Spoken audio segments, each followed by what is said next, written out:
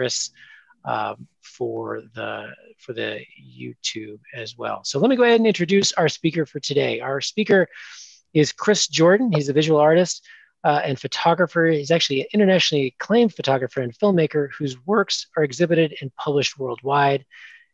Uh, his work walks the fine line between beauty and despair while exploring the dark undercurrents of our consumer culture's focus on disposable goods and mass consumption.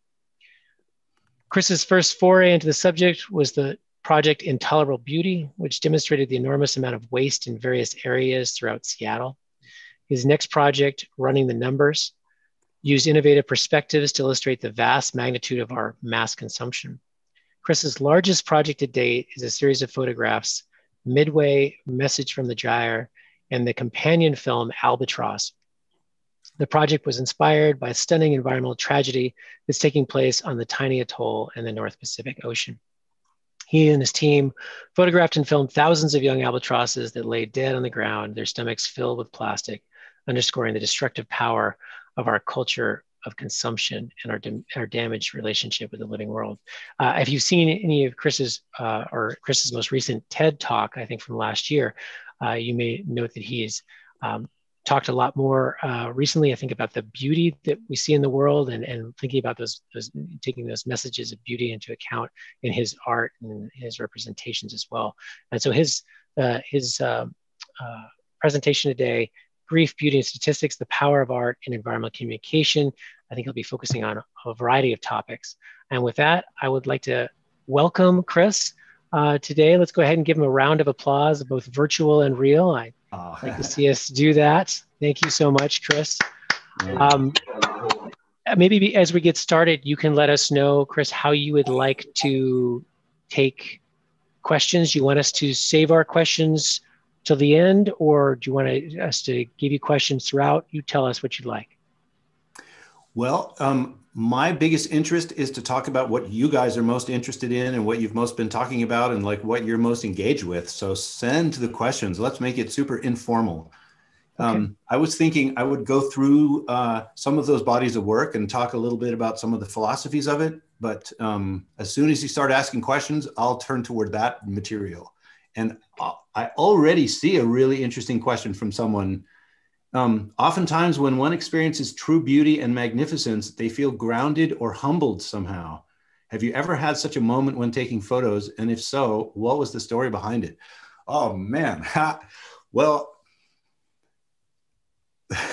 that's really funny because that's the experience that I'm having right now in my work. And um, I want to take you a little bit on the journey uh, from where I started to get to now, um, starting looking at horror and looking into the darkness, and uh, and my my arc, like for the last 25 years or so, has been s- slowly moving through that material, and I feel like I'm finally coming out the other side. Um, and where I am right now, I'm in I'm in Chile, in the state of Patagonia and I've been filming and photographing here in the in the famous Atacama Desert and the Altiplano at super high altitude, and that experience of just seeing the enormity of those landscapes and the the incredible silence out there, and being there at night, um, in where you can vividly see our galaxy with the naked eye, um, is exactly that experience of the that that astronomers call the overview effect just this incredible sense of awe and amazement. Um, so yes, I have lots of stories of that. um, but let's rewind a little bit because I want to take you back to a bunch of giant piles of garbage. let's go there first. So I'm going to hit share screen and But I want to go kind of fast through the visual stuff because there's so much to talk about. Um, so this is the work that I was doing back in uh, the, let's see, mid 90s um, when I first got interested in the subject of mass consumption. And I, uh, I started just traveling all over through the port of Seattle. Back then it was open. It was before 9 11. So you could just drive right in there and walk around and take photos of anything. Um, and I, what I was fascinated with was trying to face the enormity of our mass consumption and and to uh, to to try to comprehend it. It was like the the experience of it for me was like for my entire life I'd been living in Disneyland, and now I got to go behind the ride and see the scary oily machine that's running it. And the as I did this work, I also um, I kept uh, I kept the aesthetic of it firmly grounded in beauty, and that's why I call this series "Intolerable Beauty."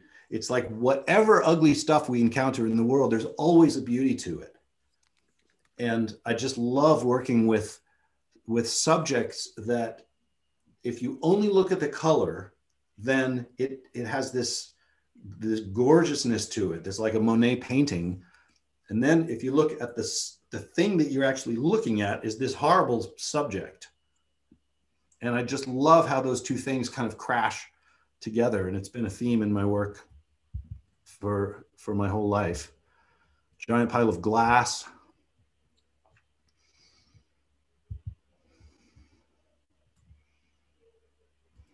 And as I did this work, I began to read more and more about our culture of mass consumption. And it was like waking up from the matrix. You know, I, I began to see more clearly this vast machine that we're all part of, that we're all contributing to, that each one of us is too small to, to make a difference in, on the global scale. And yet we all know we are making a difference. And just trying to figure out how do you face this thing and not be crushed by it. How do we face our complicity? And how can we change? How what's a way that that we can change it? And the more that i studied it and, and learned about the environmental tragedies and, and the destruction that is being caused by our mass consumption, then my vision of it began to get darker and kind of more visceral. And I got I got really interested in e-waste. So I started traveling to places where they process electronic waste. Um, and even like the most horrible pile of cell phone or phone chargers and batteries and wires and stuff just had a, a, a strange kind of amazing visceral beauty to it.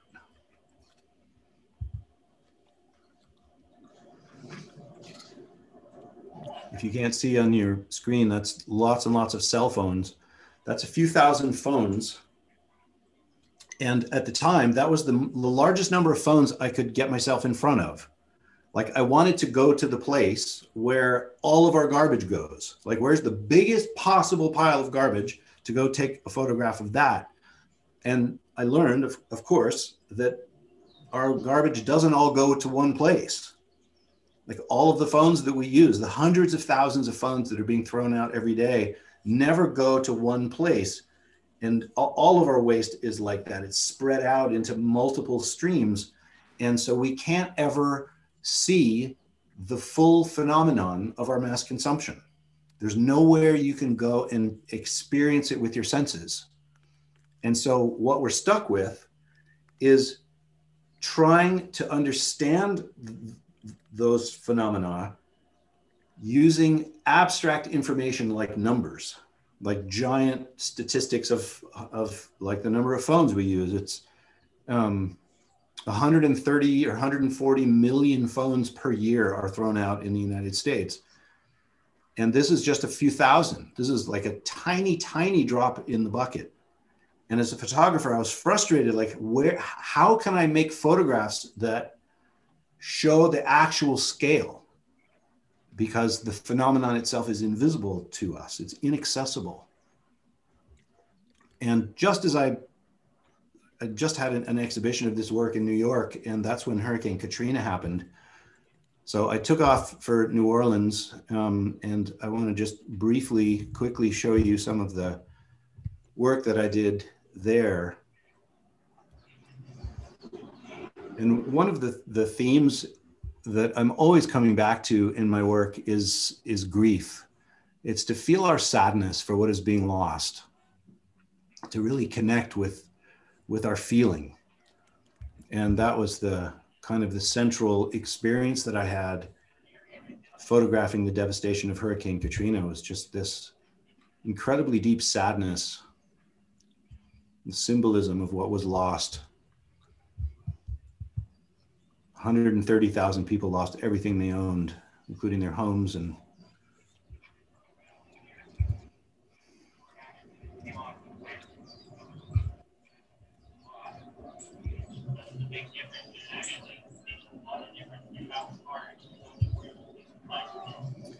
Okay, so let's see. I think I'm going to pop out for a sec and just check the chat.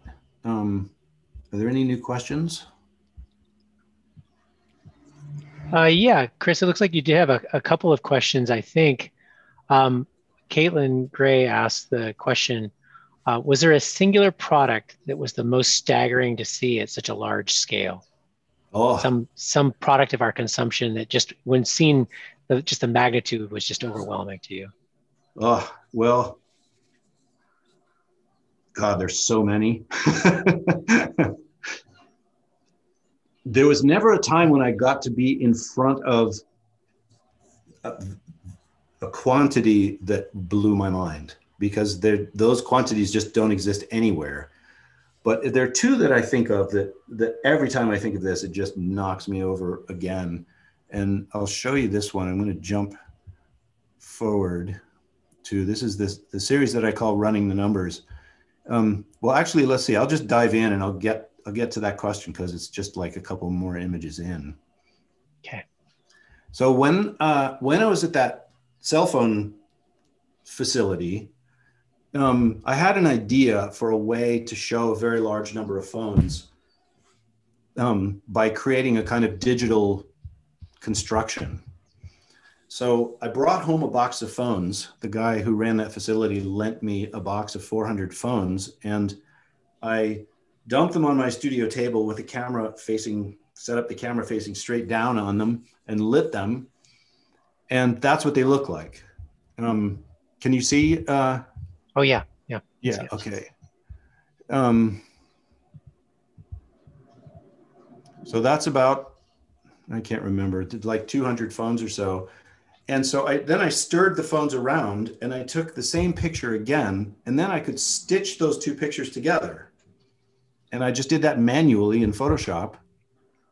And then, and so I took several hundred photographs of the same phones over and over, and and then just stitched and stitched and stitched. And I kept track of the quantity as I went until finally, let's see, is that the last one? Yeah, that's the last one. I had this super giant Photoshop canvas of 426,000 phones, which was the number of phones thrown out in the United States every day. And it had a cool feature, which is this image is ultra, ultra high resolution because every single one of the photos that I stitched was a high resolution like that. So this could be printed like six by eight feet with infinitesimally fine resolution that when you walk all the way up close and put your nose almost on the print, then you see every single detail of the phones. Um, and I started doing a whole series of those. So I went to my local supermarket and borrowed 100 brown paper supermarket bags, and that's what that's what those look like. I set them up on my table and just took a photograph of them. Then I stacked them into a different stack and took another photo. And then I started in Photoshop, started stacking those photographs and slowly built and kept track of the quantity. Whoops.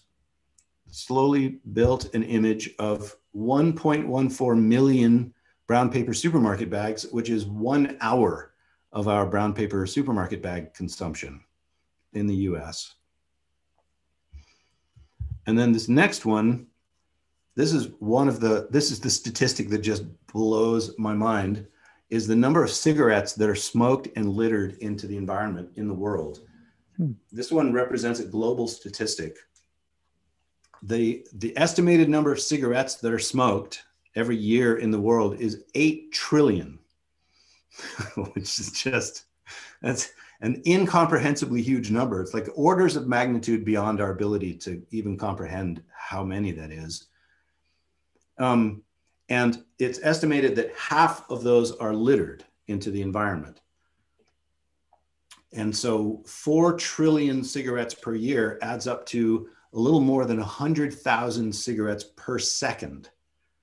So it's raining cigarettes in the world.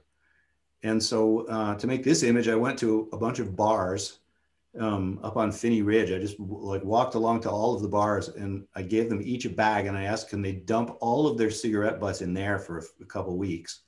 And then I went and collected them. I had like a couple of shopping bags full of super gross cigarettes and brought them back to my studio and dumped them on the ground and they smelled super horrible. And, uh, and then I, I photographed in little sections and started building this huge image of the number of cigarettes littered on, in, into the world environments every second. And that was a photograph that I took uh, a few years previously.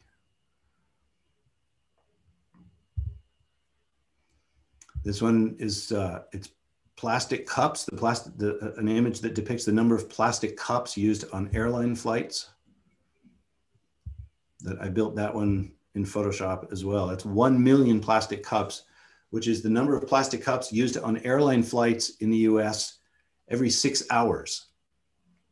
So it takes four of this photograph to show just the number of plastic cups consumed on airline flights in the US every day. Of course, that number is different right now because there aren't there aren't as many flights in the air. But one of the things that that just kept coming up for me in, in this project is my astonishment at the difference between what I thought I comprehended a gigantic number like a million and then when I actually see how many it really is.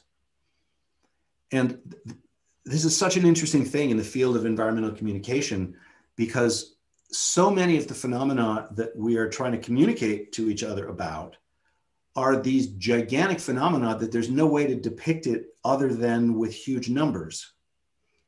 And we know from lots of different sociological studies, studies of the mind, that the human mind cannot comprehend numbers more than a few thousand.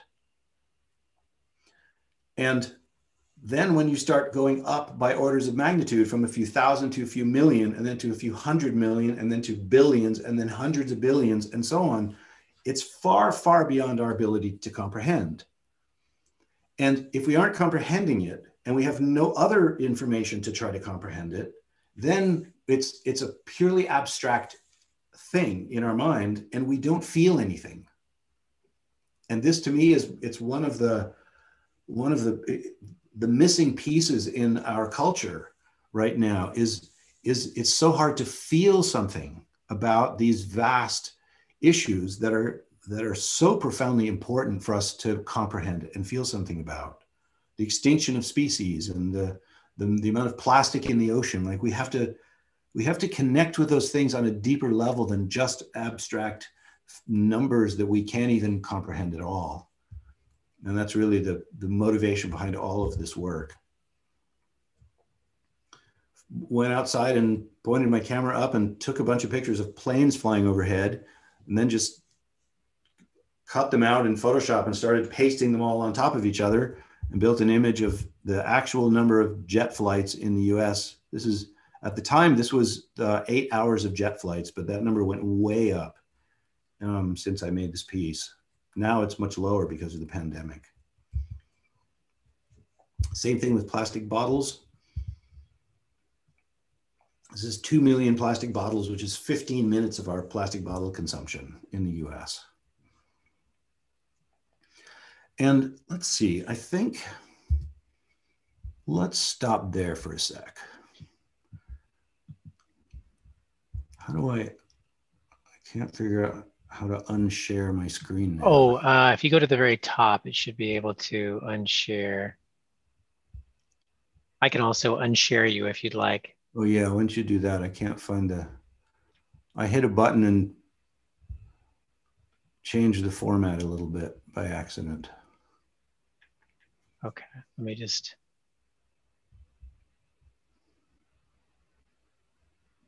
Oh yeah, there we go. Okay. Oh, I see a, those a bunch of questions. You have a lot of questions right now. Okay, yes. let's go for some of those. Um, maybe Sean, do you want to choose choose one? Oh, there are there are some really good ones right now, um, but there are certainly uh, there's certainly quite a few. Um, well, here's you know, so you mentioned this idea of um, I think let's see, oh, you were talking about numbers, and that I thought was really interesting. Uh, Maya mentions, okay, in your TED talk, turning powerful stats into art, you open with a photograph containing 1 million plastic cups, maybe the one you just showed us actually, then go to panels of prison uniforms and a Van Gogh made of cigarettes. Mediums you chose and the issues they represented were so sim, uh, symbiotic. How did you find the inspiration to create these pieces? Where does the inspiration to create sort of the, I mean, obviously you're dealing with these huge numbers, but then what you turn them into, where does that come Ah. from? Ah, yeah. Wow. Look, man, I'm just reading some of those other questions too. What a bunch of great questions. Yeah. Um, well, let's see. Uh, each one of the running the numbers pieces, it's a, a really interesting puzzle. And I've always felt that it's sort of like solving a Rubik's Cube. There's like there are lots of different sides because um, I, I know that it's going to be made of lots and lots of something small. So lots of individual phones or lots of individual aluminum cans or lots of Barbie dolls or something like that. And then I can build all of those smaller images into any big image that I want. And so, and, and my wish is, is to build as many layers of meaning in there as I can, make it as, as multi-layered as possible. Um, and it, part of that is just to honor the complexity of those issues, is to sort of be in the paradox of those issues. Um, and uh, and just to make it an interesting experience for the viewer. And what I what I always want to happen with the the running the numbers pieces is when you see it online, it's a it's a different experience than seeing the the actual prints, and they're made to be printed and shown in museums, even though the vast majority of people is, see them online. But when you see one in a museum, imagine this huge piece that might be like eight by 12 feet in size. And first of all, you, you see it from a distance. And the experience that I want the viewer to have is to, that it's something that's not threatening. So it's not like some horrible, terrible, shocking, it's, it's like a beautiful painting or just a big blue field of blue or something interesting and non-threatening. So that when you first encounter it your defenses don't come up.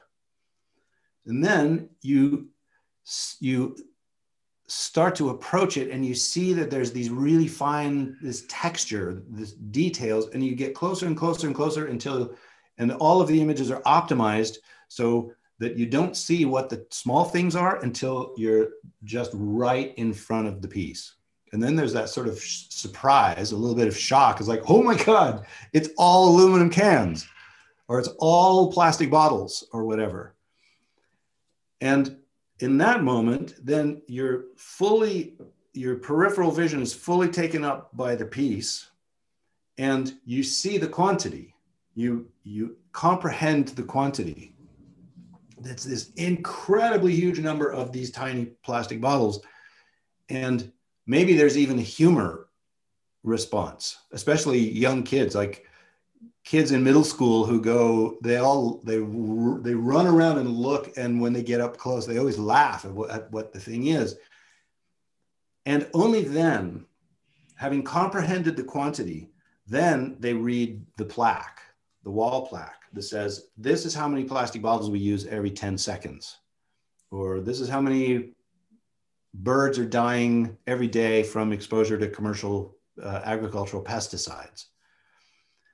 And then it's uh, hopefully that uh, when they read it, the, the, their defenses are still down, and then they get that shock of comprehension. At least that's the, that's the wish. That's sort of like the, the deeper motivation behind all of those pieces, So sometimes it starts when I, I read a statistic. I just I read some statistic that's just like, oh my God, it just breaks my heart. It's such a sad thing. Other time I think, okay, I want to make something out of ocean plastic. What should that be? Then I'm, I'm starting with whatever's the small thing.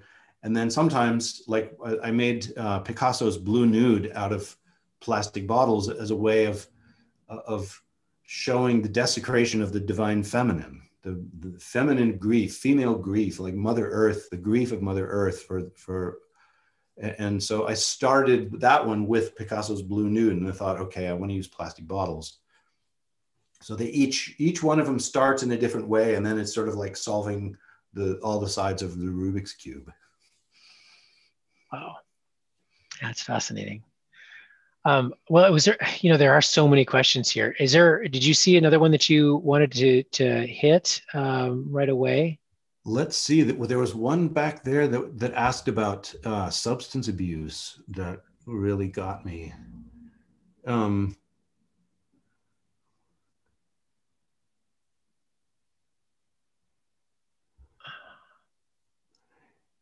yeah, oh, I see. Yeah, your work. Yeah, uh, you see that one. Okay. Your work captures both the beauty and cruel absurdity of our world and society.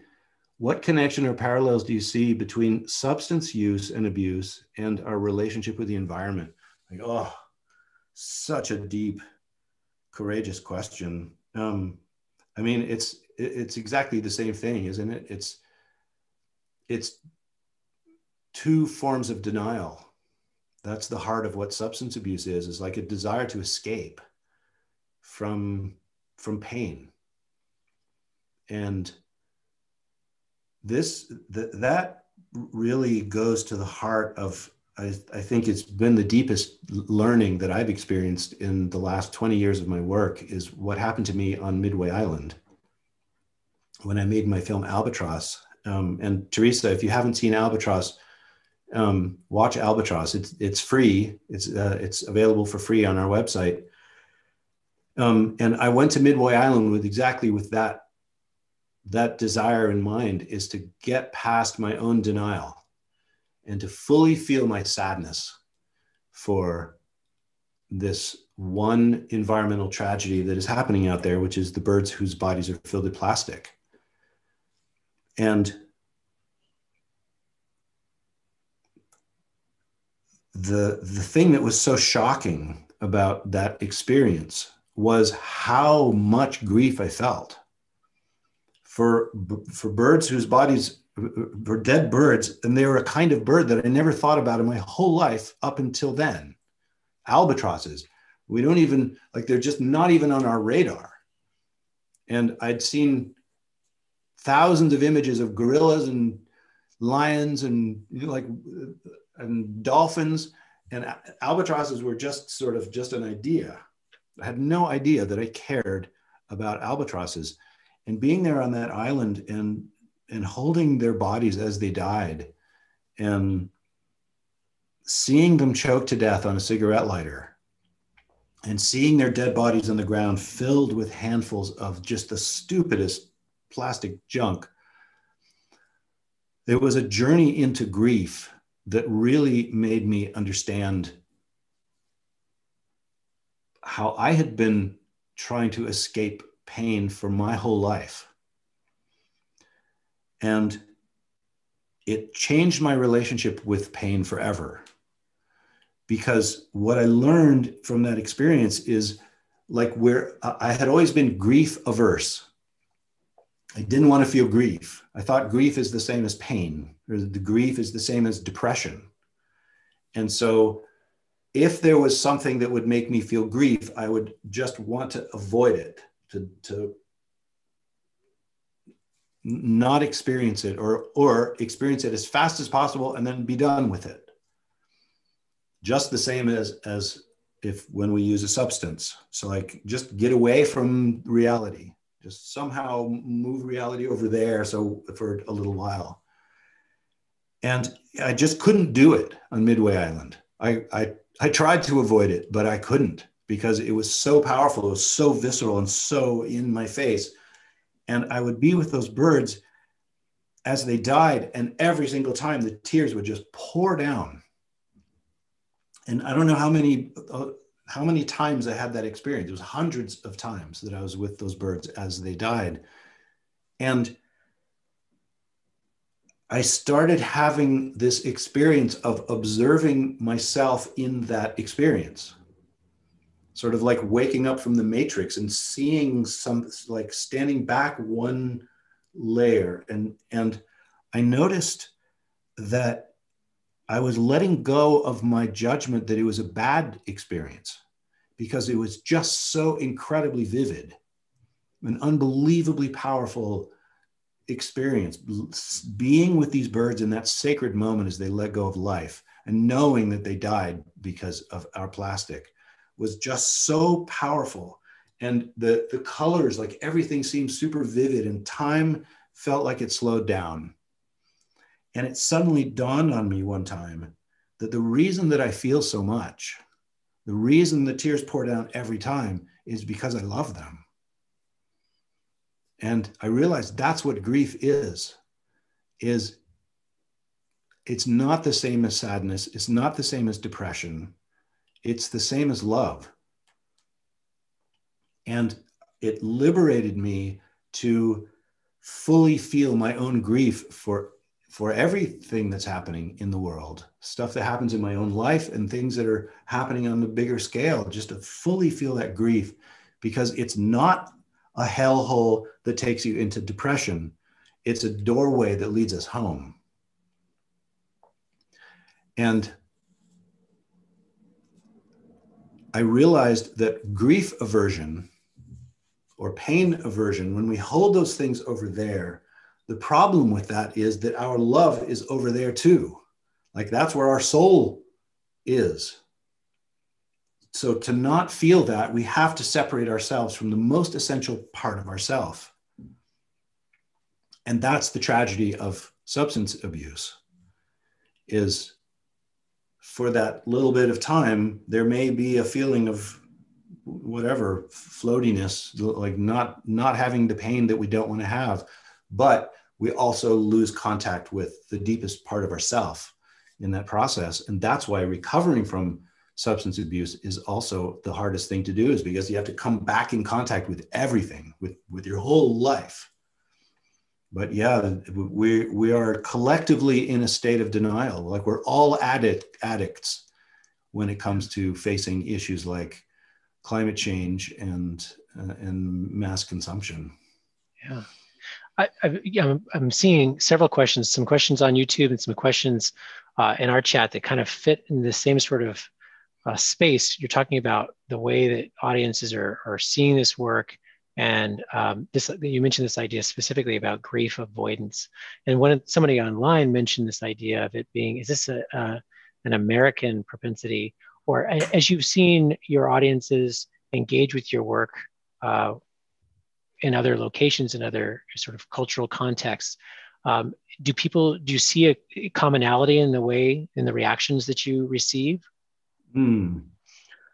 Well, yeah, and um, I never thought this would be what I do as an artist, but in, before the pandemic started, for like the last maybe eight years, I've been traveling all over the world, showing my work, and uh, and I, I had the amazing experience of attending screenings of Albatross all over the world, and I'm always surprised by how similar the response is everywhere.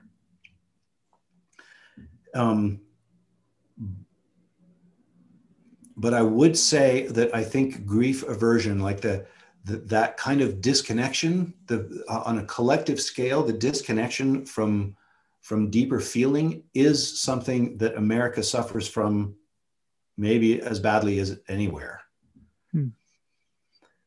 But it's not everyone and that you know that's the thing like when i go to a, a, film festival the people who come to the film festival are a very narrow slice of the of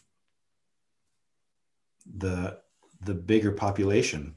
But i always find that the the kind of people who are willing to engage that deeply with with really challenging material that albatross is they the, the response is always one where they're willing to go all the way and, and feel it.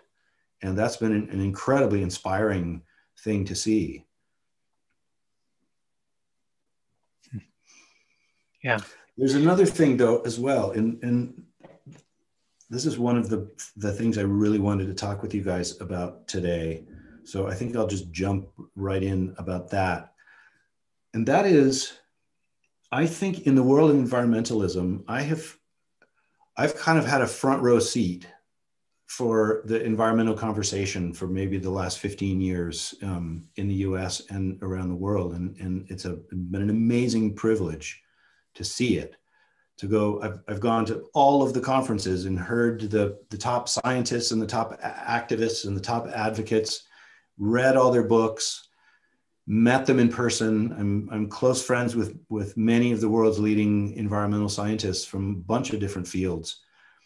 And there's a, a, a way that the environmental conversation is fundamentally broken. And it, it took me a long time of being immersed in it before I could really begin to see it. And that is there's the it's the the tendency that all of us have to think that the way to solve the environmental problems is to frighten the public is to terrify the public and it isn't something that anybody openly declared as a strategy there wasn't a psychologist who said, this is the best kind of environmental messaging. It just started happening. And the, I, I can trace it back to Al Gore's Inconvenient Truth.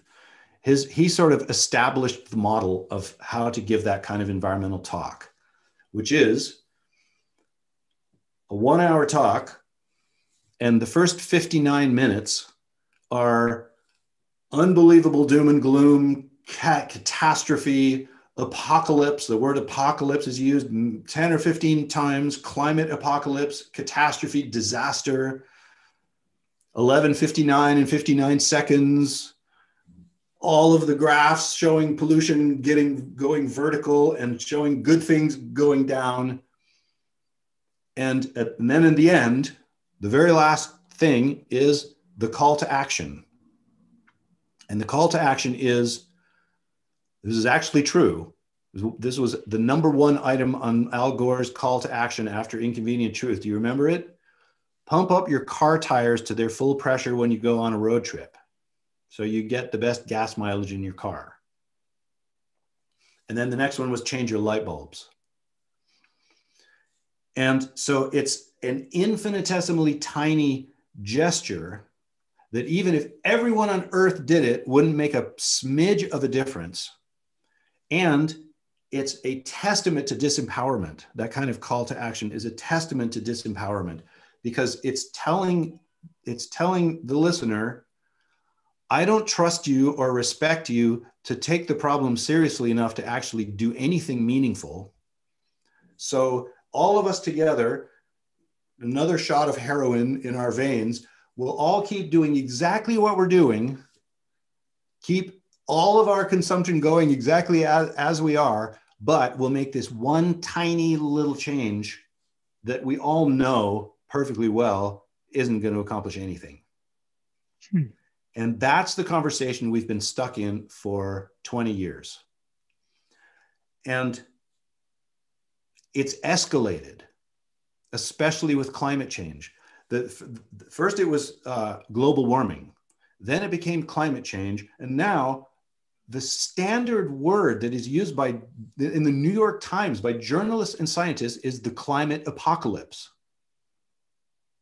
And when all of us in environmental advocates uh, in, in, environmental science, like all of the people who are trying to advocate on behalf of the environment, when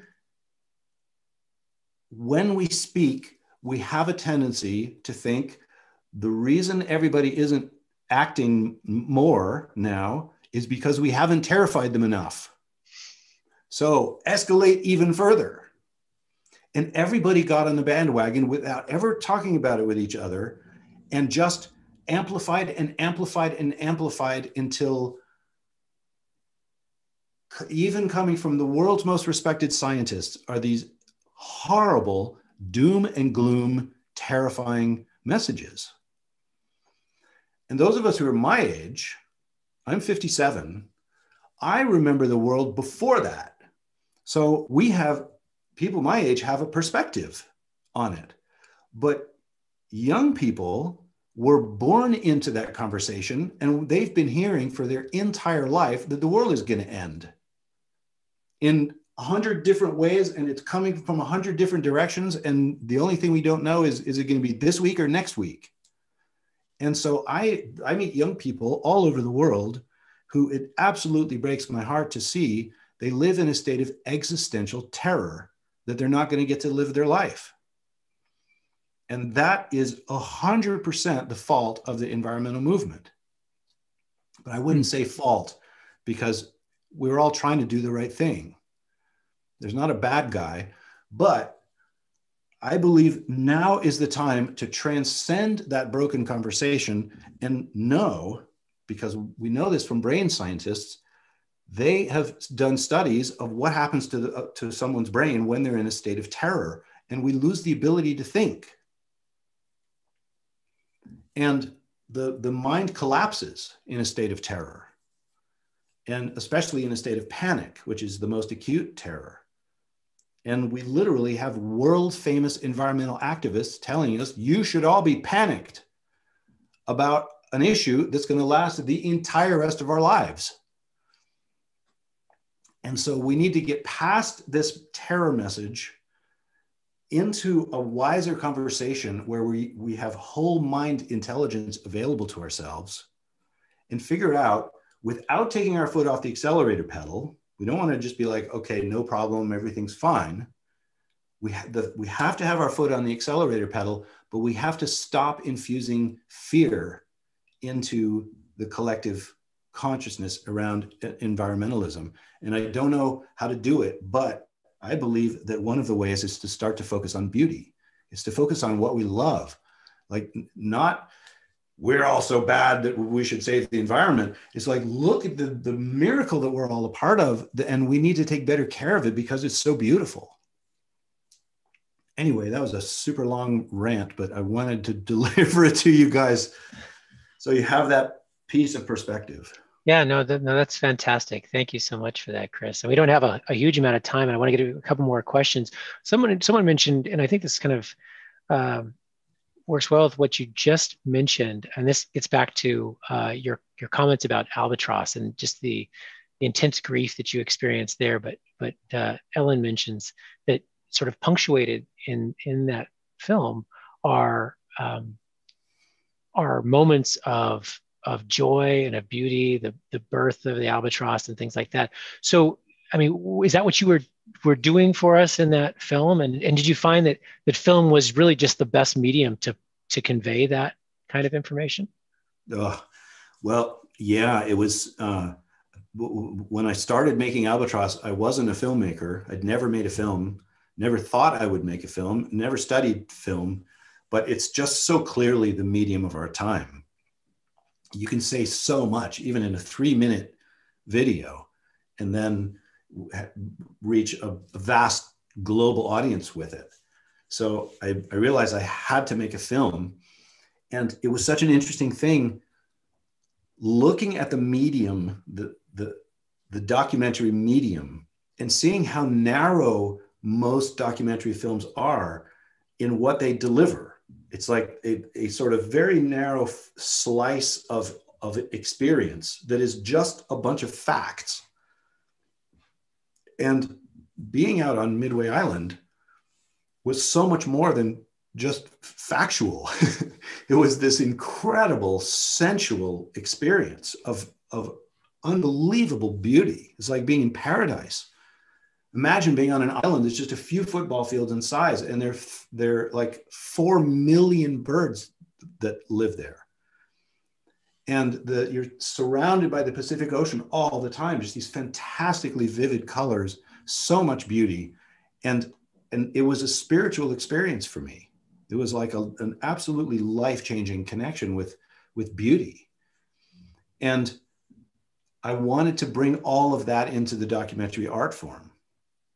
And rather than just deliver a set of facts, I wanted to try to give the experience of what it would be like for someone to come with me to the island and see if I could deliver that, that transformative experience that I had. And I, I also, uh, I, the arc of Albatross was shaped as a medicine ceremony.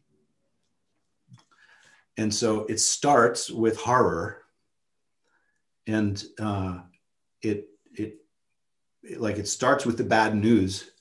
Um, and you know, that's the, the, the hard work in a medicine ceremony at the beginning of the ceremony is that if you're working with shamans, there's there's drumming and there's sweating and and like doing the the hard work, going into the fear, going into the darkness, and then slowly moving through that and connecting with with more and more beauty, and and then there's an arc that's about empathy. It's connecting with the birds and seeing through their eyes and seeing their sentience and falling in love with them or realizing that we already love them. And then finally moving into grief which is just the other side of love the, it's the the identical twin of love that there i, I put uh, four waves of grief that that each get deeper as we go further into that journey. And so there's some people who don't make it all the way through albatross and they come out with a bad experience like that was a horrible movie. But if you make it all the way through then hopefully you, you come out the other side um, with with a I, I intended to make it like a holistic experience. There's a lot of beauty there's there's a lot of sadness there's love there's the the, the sacred and the mundane there's the, the mandala and the angel symbolism and some things that that sort of hopefully elevated a little bit in juxtaposition to the the horror of the plastic it's just sort of the ultimate mundane hell of, of the plastic on the ground So I tried to make it the widest, broadest, fullest experience that I could that mirrored how it actually was to be out on that island. Wow. Yeah. Thank you for that.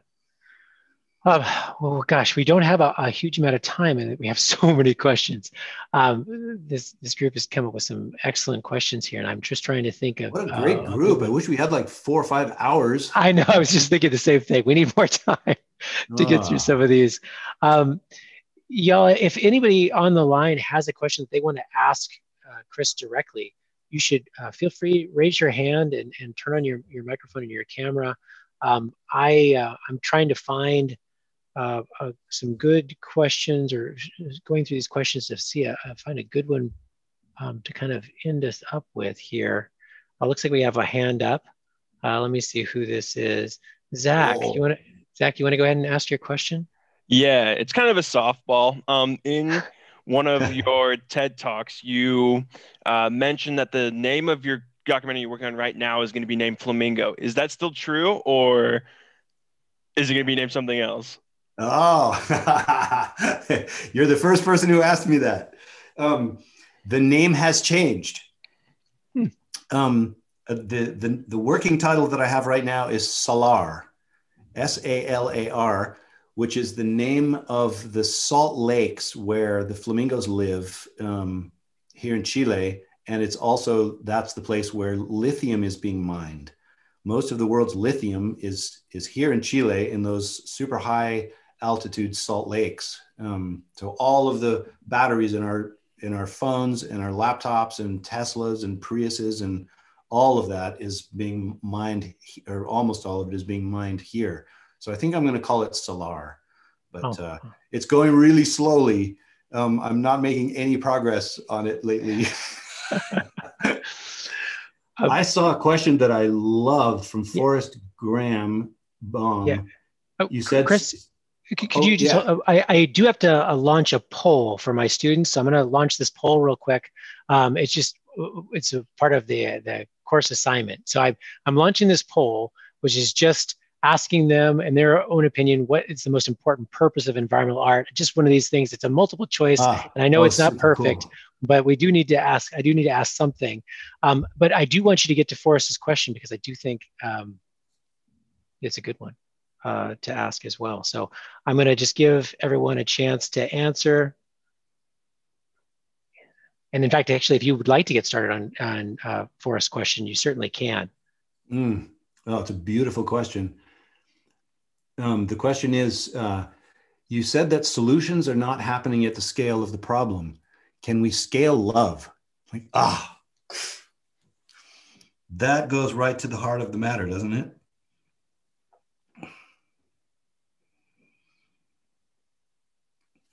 Well, this is the thing that I feel the most hopeful about right now. And let's see, where should I start with that? Think of it like this is all of the problems we have, all of our environmental problems, and all of our social problems, they look like they're out there, and we have to go out there and solve them. So the Amazon rainforest is burning down. We have to go solve that. Or animals are going extinct in Africa, or there's plastic in the ocean. Like we have to go and solve those problems. And in one way, that's true. And all of the people in the world, the millions of people who are working at sort of boots on the ground, environmentalists solving those problems, are doing incredible work. There's another way you can look at it and that is that all of those problems out there are symptoms of a problem that is in here. They are like physical manifestations out in the physical world of a problem that begins in our consciousness. It's a, a, a, a problem that resides in the morphic field of collective consciousness. And that's where the solution lies the solution to all of the problems in the world is in our mind, in our consciousness. And that's a super exciting thing because consciousness doesn't follow the, the laws of physics. Its consciousness literally exists in another dimension. And in, in the field of consciousness, there's no time and there's no space. And it can change in an instant. Global consciousness could change in an instant. And it has many times before. And when you see it that way, this is the way the, the way that I love to think about it is especially as as people interested in environmental communication, you can become like an Aikido master, or it's like a superpower to see that the, that the thing that you're working with is a fluid medium that you can influence. And you and one person can influence it a lot. And so when you look out and you see a problem like elephants going extinct that seems like a really hard problem. And you start to study it and see that, the, that there's politics involved and there's violence involved and, and like it's the, the deeper you look the harder it gets to solve a problem like that but when you think of it as something that's happening in consciousness then there's hope that it can change and every single one of us can make a difference to that and i believe the way is to connect with love. And I don't mean that in a kind of frou-frou new new agey way. Is I believe we actually are that that actually is our essential state of being is to be in love with the miracle that we're all a part of. And we we get so so sort of tunnel vision in our lives thinking i have to get good grades or i have to get a job or i have to make money or i have to whatever thing but if you can make a practice of just sort of expanding your consciousness walk outside and be like what the hell?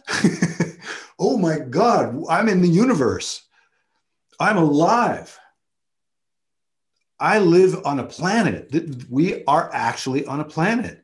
And we've each been given this this gift of consciousness that we don't even know what it is. We are all literally part of the most incomprehensible, incredibly amazing unfolding miracle.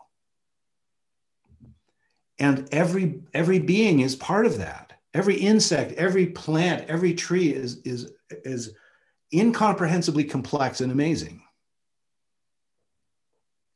And this is the teaching that comes from the wisdom teachings, from, from religions and from wisdom teachings and from shamans and, and, and wise philosophers from every direction in every language in every culture throughout time. And that's the thing that if we collectively can, can connect with it, can reconnect with it, to remember it and feel it in our bones, that's the thing that is, that's the solution. And so, yes, that can be scaled. And I believe the way, the, the place to begin with each one of us is inside our own heart. And my teacher, the, the Buddhist teacher, Joanna Macy, who I've worked with for years and I have massive respect for, she said, the most powerful form of activism that any of us could ever do is to heal our own heart. Because when we do that, then we become powerful, we become free, and we we then begin to shine that energy out to everyone. And, and in that space, the whole world looks different. It's not a disaster. It's not an apocalypse. It's not a catastrophe. Nothing bad is happening. We're living in this amazing miracle in every moment. And yeah, we have problems. Let's solve them. We can do it. Wow. Uh, Chris, thank you so much for that. I really do appreciate it. I think we all appreciate that. I'm realizing that we are out of time. And so, uh, with that, I do, I'm going to end the poll and share the results for anybody who cares to see it. Uh, but I do want us all to give Chris Jordan a round of applause uh, for sharing his perspective with us today. Thank you so much, Chris. This has oh. been fantastic. Um, I, I, know that I I got a lot out of it. I know that the students did as well, and I hope that you'll um, that you'll join us again in the future, and that you'll keep us posted on your work. I'm looking really, um, I'm looking forward to to seeing what comes of your your travels and your your work you're doing now in Patagonia. Oh, oh I'm loving all your guys' comments. Thank you all so much. yeah, thank and, you so um, much, Sean. Uh, I have a feeling like I, I this was too short. Um, so I'm I'm on Facebook. If people are, are on Facebook, and my Instagram is underline Chris underline underline Jordan underline. um, find me there, and uh, if you guys, if, if if any of you want to hang out further and talk or whatever, um, I have lots of free time these days, and would be totally happy to Skype or communicate by email or whatever. I see a lot of deeply engaged people here, and um, I just want to make myself available to to uh, to keep talking um, if you want to. Thank you so much, Chris. That is fantastic. I'm sure that many of these students will take you up on that offer. Um, I am going to turn off the the YouTube right now. And uh, if anybody on the Zoom has any additional questions for Chris, maybe we'll stick around for just a few minutes. But otherwise, Y'all have a very great evening. I hope that you take Chris's words to heart um, and uh, take them into the rest of your day. Thank you very much.